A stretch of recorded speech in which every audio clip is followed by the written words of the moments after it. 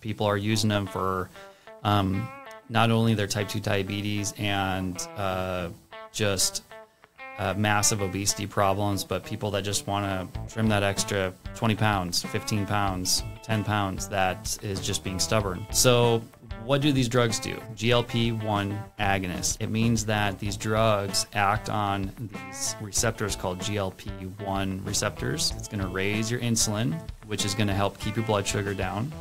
It's going to slow down your stomach from emptying. And then overall, it's going to take other uh, functions like what's called glucagon, which is a, a, hormone that releases when you're when you need to bring your blood sugar up. It's getting low. It's going to take that and be like, nah, you can go away. We don't need you. So it's going to take place of this uh, natural hormone in your body to do this. And the kicker is, is it's really hard on the pancreas.